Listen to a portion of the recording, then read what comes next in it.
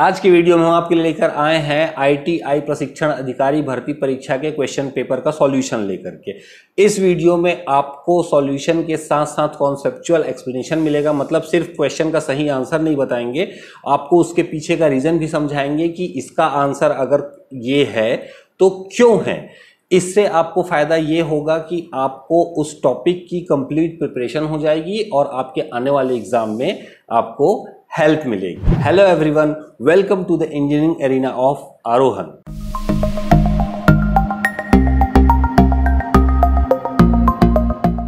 ये वीडियो आपके लिए लंबी ना हो जाए, इसके लिए हमने इस वीडियो को चार पार्ट में डिवाइड किया हुआ है। ये पूरा क्वेश्चन पेपर का सॉल्यूशन आपको चार पार्ट में मिलने वाला है। तो इसके लिए आप हमारे चैनल को तुरंत सब्सक्राइब कर लीजिए ताकि आपको वीडियोस खोजने में किसी तरीके की परेशानी ना हो। साथ ही आप अगर इस क्वेश्चन पेपर को पीडीएफ फॉर्म में डाउनलोड करना चाहते हैं तो उसके लिए आप डाउनलोड कर लीजिए हमारा ऐप लिंक आपको नीचे डिस्क्रिप्शन में मिल जाएगा।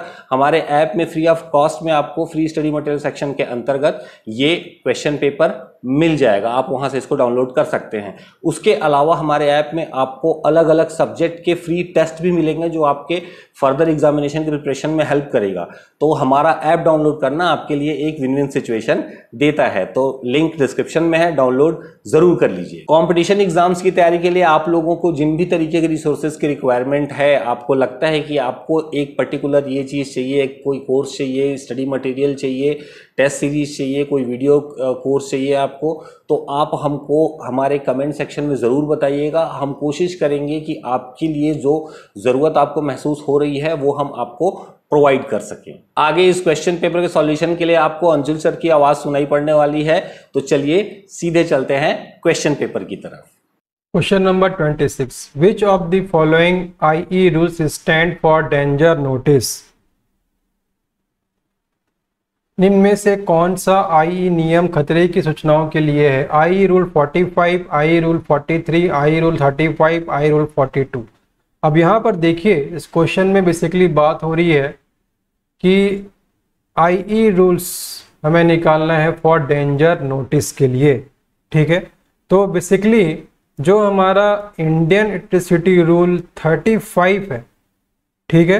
That is stand for that is stand for danger notice that is stage stand for danger notice ठीक है?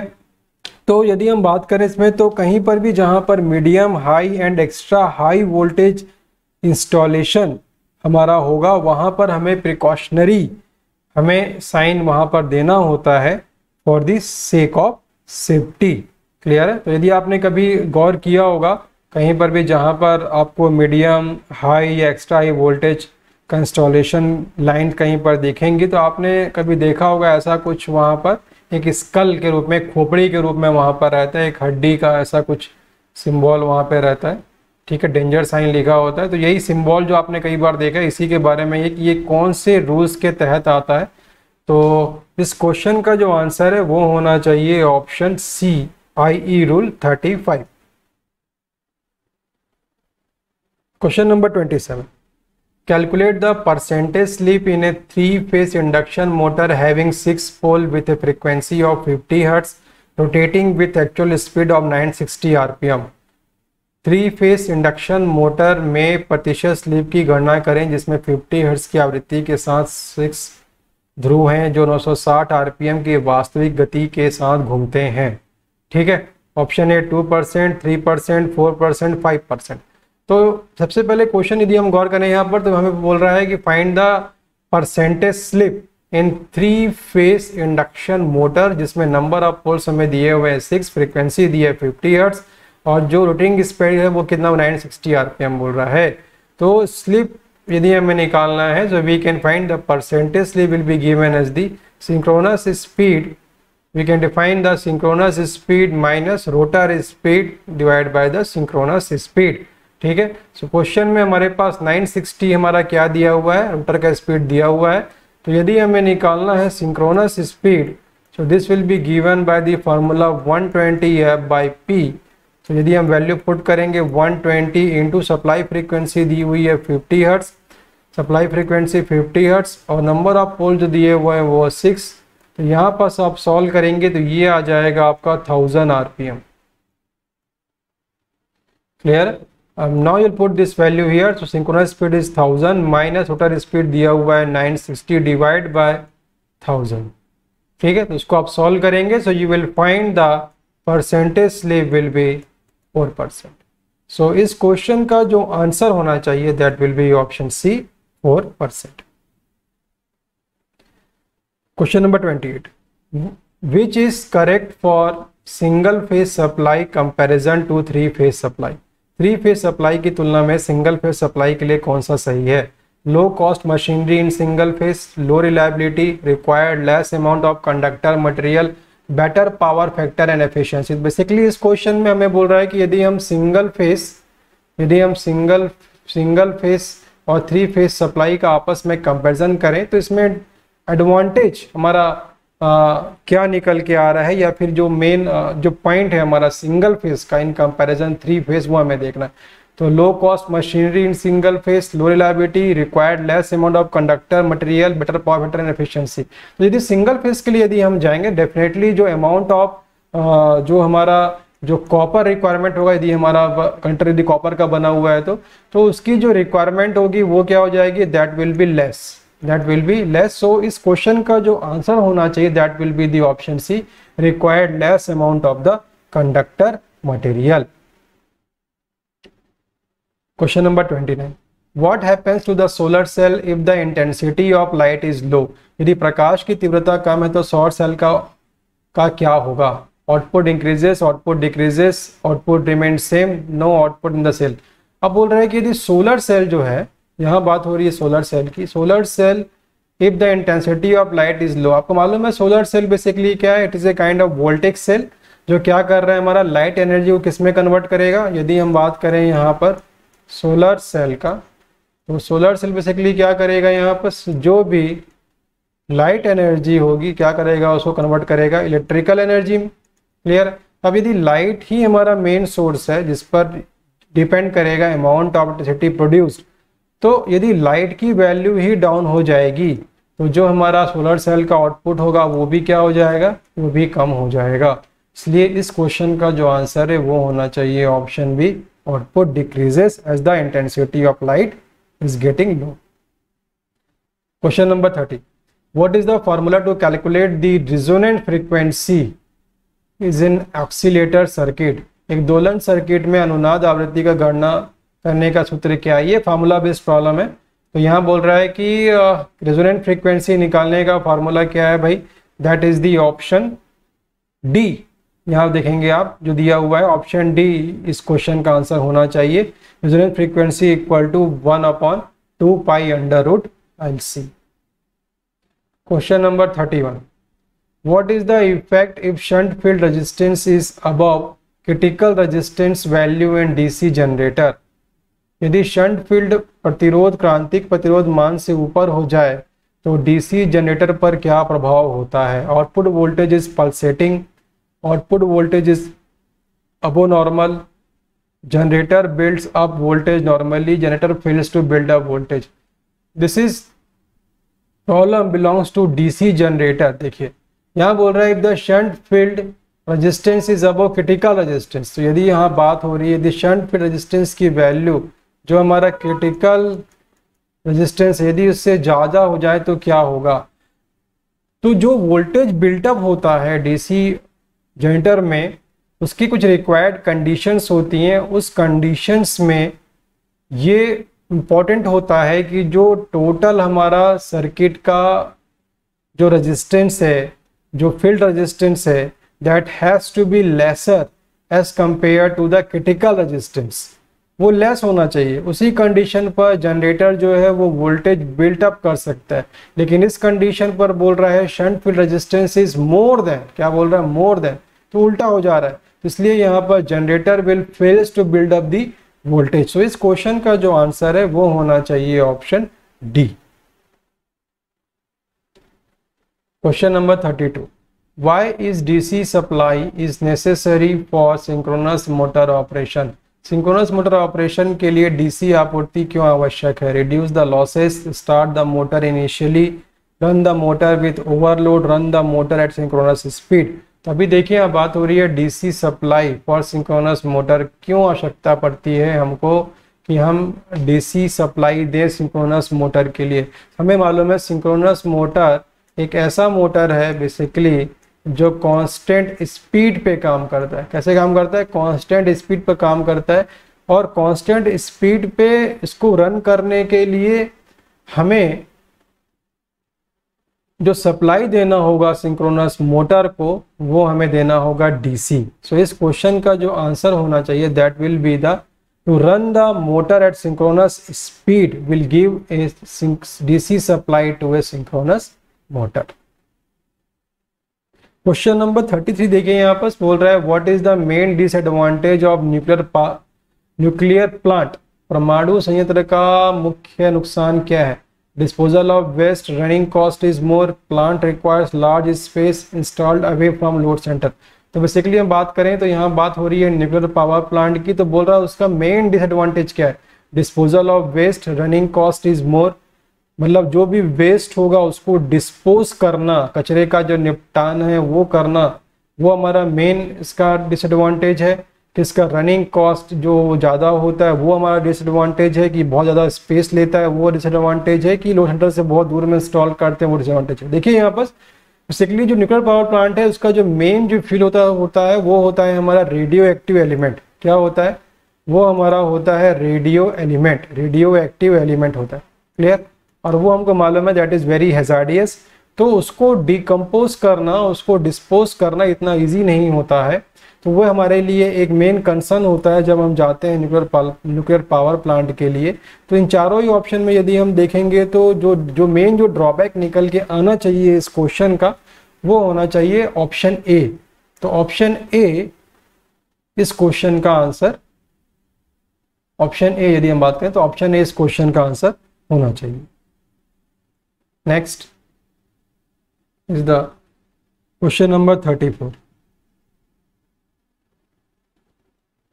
which switch is operated at off load condition off load की स्थिति में कौन सा स्विच संचालित होता है? Isolating switch limit switch two way switch push button switch अच्छा क्वेश्चन है। देखिए, बोल रहा है यहाँ पर कि off load condition off load condition पे कौन सा स्विच यहाँ पर ऑपरेट होना चाहिए? ठीक है।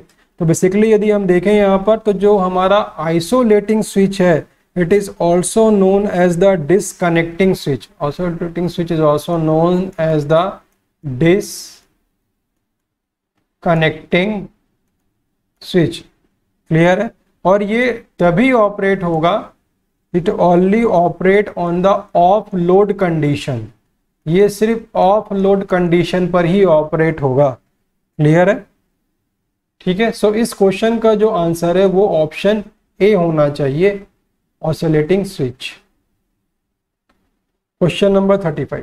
What is the advantage of non conventional power generation गैर पारंपरिक बिजली उत्पादन का क्या फ़ायदा है? More reliable more efficient low running cost reduce pollution non conventional non conventional power generation के बारे में बात हो रहा है तो बोल रहा है कि उसका एडवांटेज क्या है? कुछ एग्जांपल यदि हम देखें तो जैसे कि हम बात कर सकते हैं यहाँ पर हाइड्रो है हमारा, हम सोलर सिस्टम के बारे में बात कर सकते हैं solar power plant hydro power plant हम बात कर सकते हैं विंड पावर प्लांट के बारे में क्लियर तो ये सब जो आप यदि इन प्लांट को ध्यान देंगे यहाँ पर तो ये चारों ऑप्शन यदि आप कंपैरिजन करेंगे तो आप ये पाएँगे कि जो सबसे जो इफ़ेक्टिव एडवांटेज इस नॉन कन्वेंशनल सोर्सेज में हो सकता है, वो हो सकता है पॉल्यूशन क्योंकि इसमें पॉल्यूशन की जो अमाउंट है, वो बहुत कम होगी as compare to conventional source of power generation तो इस क्वेश्चन का जो आंसर है, वो होना चाहिए option D reduce pollution question number thirty six which method which method of cable laying is suitable for congested area भीड़ भाड़ वाले क्षेत्रों के लिए केबल बिछाने की कौन सी विधि उपयुक्त है? Racks duct pipes along building direct in ground clear है? सो so, इस क्वेश्चन का जो आंसर होना चाहिए that will be the duct pipes question number thirty seven total instantaneous power supplied by three phase AC supply to a balanced R L load is एक संतुलित R L load के लिए तीन चरण एसी आपूर्ति द्वारा आपूर्ति की गई कुल ताक्षणिक बिजली है। Zero constant pulsating with zero voltage pulsating with non zero average देखिए, यहाँ पर बात हो रही है बेसिकली इंस्टेंटेनियस पावर की। Total instantaneous power supplied by three phase AC supply to a balanced RL load clear है? ध्यान दीजिएगा इंपॉर्टेंट यहाँ पर क्या है? Three phase three phase AC supply दिया जा रहा है एक आरएल लोड को। और क्या निकालने के लिए बोल रहा है? Instantaneous power again this is a conceptual based question इस क्वेश्चन का जो आंसर होना चाहिए that will be the option B constant question number thirty eight what is the function of conservator in transformer transformer में conservator का कार्य क्या है? Prevent the moisture entry transfer the heat to atmosphere allow to to release internal pressure allow expansion of oil level due to the load variations जो conservator होता है transformer में basically load के वेरिएशन के अकॉर्डिंग जो भी oil में increase या डिक्रीज होता है मतलब ऑयल में जो भी एक्सपांशन जो भी एक्सपांशन या कॉन्ट्रैक्शन होता है, ठीक है? तो उसको जो मेंटेन करता है, ठीक है? यहाँ पर देखिए oil allow expansion of oil level due to load variation तो लोड के वेरिएशन के अकॉर्डिंग ऑयल के लेवल में जो चेंजेस होता है, उसको मेंटेन करने का काम कौन से कंपोनेंट के द्वारा होता है? दैट इज़ दी कंजर्वेटर तो इस क्वेश्चन का जो आंसर है, वो होना चाहिए option D question number thirty nine which divide which device very high input impedance, where low noise output, good linearity, low inter electrode capacity किस उपकरण में बहुत अधिक इनपुट प्रतिबाधा, कम शोर निर्गत, अच्छी रैखिकता और कम अंतर इलेक्ट्रोड क्षमता है? NPN transistor PNP transistor field effect transistor unijunction transistor देखिए देखिए बेसिकली यहाँ बोल रहे हैं कि ऐसा कौन सा कंपोनेंट है जिसका जो इनपुट इम्पोर्टेंस है वो हाई होगा नॉइस आउटपुट लो होगा लिनियरिटी अच्छी होगी और लो इंटर इलेक्ट्रोड होगा। So this is basically question हमें ये पूछ रहा है कि इनमें से कौन सा ऐसा जो डिवाइस है जिसके ये कैरेक्टरिस्टिक्स होंगी so option C field effect transistor इस क्वेश्चन का आंसर होना चाहिए, जो सूट कर रहा है as per the given question characteristics question number forty what is the function what is the function of stock in hydro power station पन बिजली स्टेशनों में पेन स्टॉक का कार्य क्या है? Carries water away from power house discharges surplus water from reservoir carries water to dam carries water to turbine this is again आपका एक थ्योरी बेस्ड क्वेश्चन है ये। हाइड्रो पावर स्टेशन में जब हम इसके फ्लो चार्ट में जाएँगे, जब तो आप देखेंगे वहाँ पर पेन स्टॉक जो होता है बेसिकली जो हमारा रिजर्वायर होता है तो रिजर्वायर से जो वाटर रिजर्वायर यदि हम बात करें यहाँ पर तो जो हमारा रिजर्वायर होता है, इससे एक पाइप के थ्रू क्या होगा यहाँ पर? मान लीजिए कि यहाँ पर हमारा टरबाइन लगा हुआ है, ठीक है? तो एक पाइप के थ्रू क्या होगा? हमारा जो वाटर है, वो डिस्चार्ज कहाँ होगा? टरबाइन में होगा। Clear that is given by the penstock so यहाँ पर क्या होगा? एज पर दिस कॉन्सेप्ट इस क्वेश्चन का जो आंसर होना चाहिए penstock carries water to turbines question number 41 one what is the possible range to measure the size of wire in standard wire gauge standard wire gauge में तार के आकार को मापने की संभावित सीमा क्या है? इस क्वेश्चन का जो आंसर है, वो होना चाहिए option D zero to 36 question number forty two what part of magnetic path requires largest MMF चुंबकीय पाथ के किस भाग के लिए सबसे बड़े एमएमएम की आवश्यकता होती है? Air gap coil inductance core. यदि हम मैग्नेटिक पाथ के बारे में बात करें, यदि हम एक मैग्नेटिक पाथ के बारे में यहाँ पर बात करें, ठीक है? क्लियर मान लीजिए, इस प्रकार से हमने सप्लाई दे दी है यहाँ पर करेंट नंबर ऑफ़ टर्न्स ठीक है? इसकी वजह से क्या होगा यहाँ पर? Now this flux will setup अब देखिए क्वेश्चन बोल रहा है कि इनमें से कौन से पार्ट में क्वाइल में इंडक्टेंस में या कोर में हमें लार्जेस्ट एमएमएफ की रिक्वायरमेंट होगी या एयर गैप में?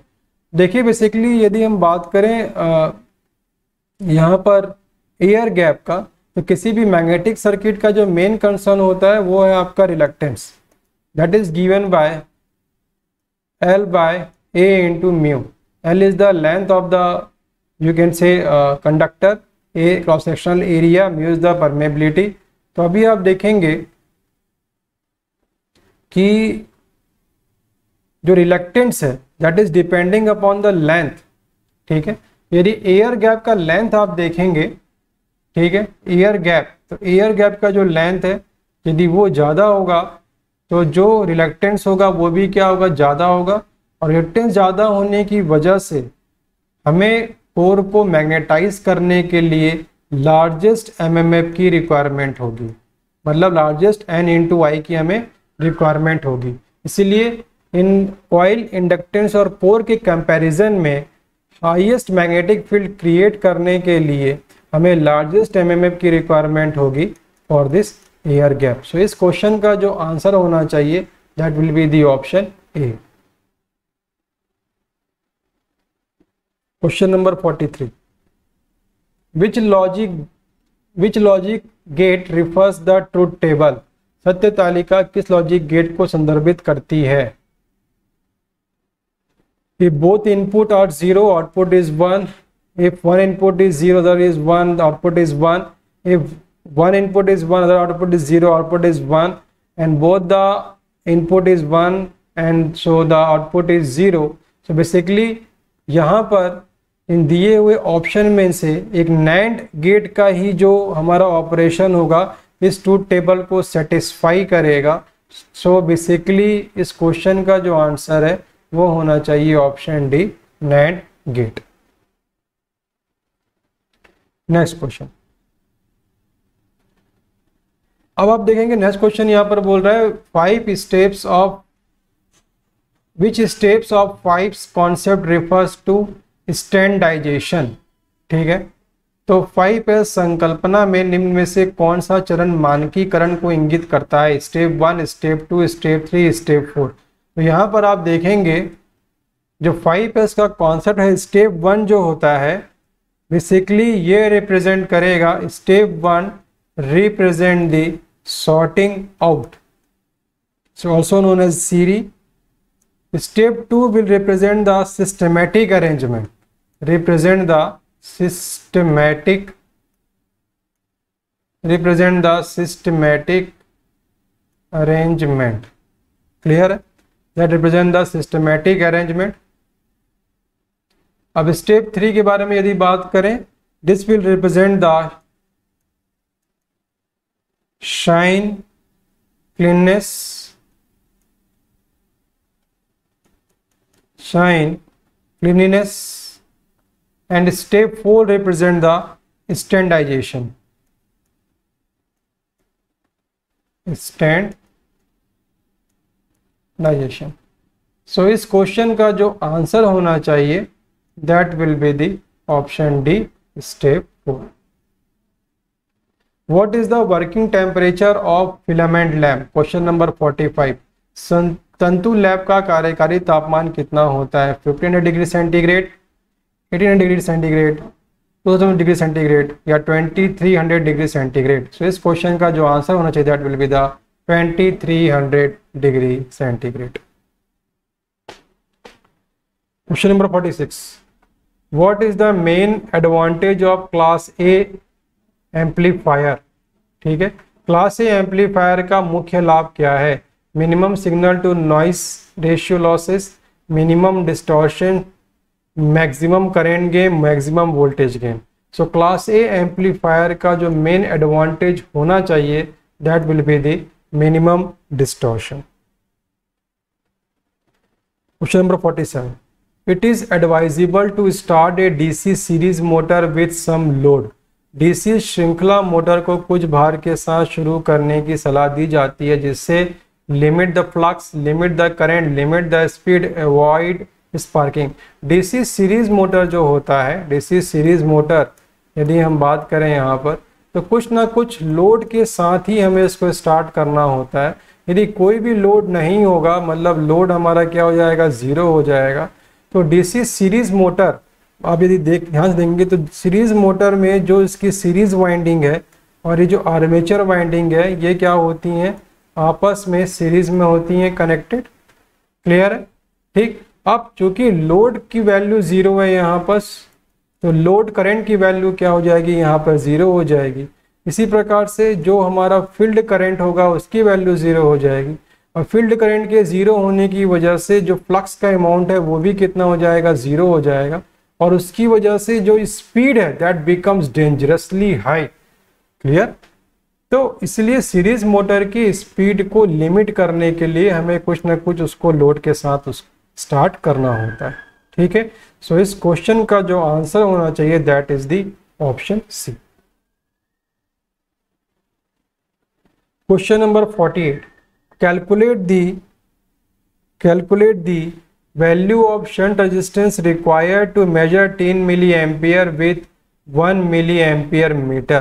एक 10 milliampere मीटर के साथ, एक 10 milliampere मापने के लिए आवश्यक शंट प्रतिरोध के मान की गणना कीजिए। 3 ओम 30 ओम 0.3 ओम 300 ओम ठीक है? तो बेसिकली क्वेश्चन में बोल रहा है कि we need to find the value of shunt resistance हमें शंट रेजिस्टेंस की वैल्यू निकालनी है। To measure the 10 milliampere with 1 milliampere meter एक हमारा 1 मिली एम्पियर का मीटर है और उससे हमें कितना मेजर करना है? 10 मिली एम्पियर तो शंट रेजिस्टेंस की वैल्यू हमें फाइंड आउट करनी होगी यहाँ पर। ठीक है so we need to find the value of shunt resistance ठीक? तो अब इस शंट रेजिस्टेंस की वैल्यू को फाइंड आउट करने के लिए यदि हम देखें यहाँ पर तो शंट रेजिस्टेंस की वैल्यू को फाइंड आउट करने के लिए go by the formula then we need the value of this internal resistance of the internal resistance of the meter ठीक है? We we should to know the internal resistance of the meter जो इस question में, जो इस question में हमें उतना क्लियरली डिफाइंड नहीं है सो so, चूँकि इस क्वेश्चन का एग्जैक्टली आंसर फाइंड आउट करना यहाँ पर क्योंकि इंटरनल रेजिस्टेंस की वजह से पॉसिबल दिखता हुआ नज़र नहीं आ रहा है इसीलिए इस क्वेश्चन का पॉसिबल आंसर हमारे साइड से अवेलेबल नहीं है। Question number forty nine which transformer is use to measure high voltage installation उच्च वोल्टेज प्रतिष्ठानों को मापने के लिए किस ट्रांसफार्मर का उपयोग किया जाता है? First transformer ignition transformer potential transformer constant voltage transformer so transformer use to measure high voltage installation high voltage installation को मेजर करने के लिए we'll use the potential transformer so इस क्वेश्चन का जो आंसर है, वो होना चाहिए option C question number fifty how can the backup time of UPS be increase UPS के बैकअप समय को कैसे बढ़ाया जा सकता है?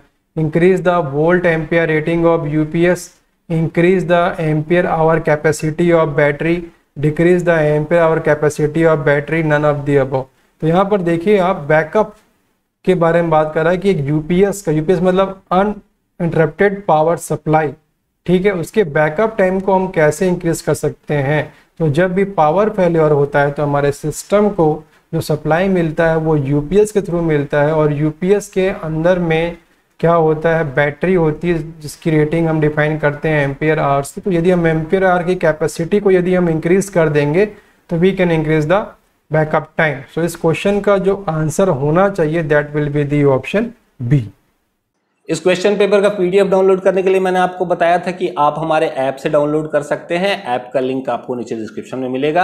ऐप के अंदर आपको फ्री स्टडी मटेरियल के अंतर्गत क्वेश्चन पेपर के साथ साथ में वीडियो लेक्चर्स भी फ्री बहुत सारे अवेलेबल हैं। साथ ही फ्री टेस्ट सीरीज़ भी अवेलेबल है। उनका भी लिंक बहुत सारे सब्जेक्ट हैं अलग अलग सब्जेक्ट के फ्री टेस्ट हमारे ऐप के ऊपर अवेलेबल है।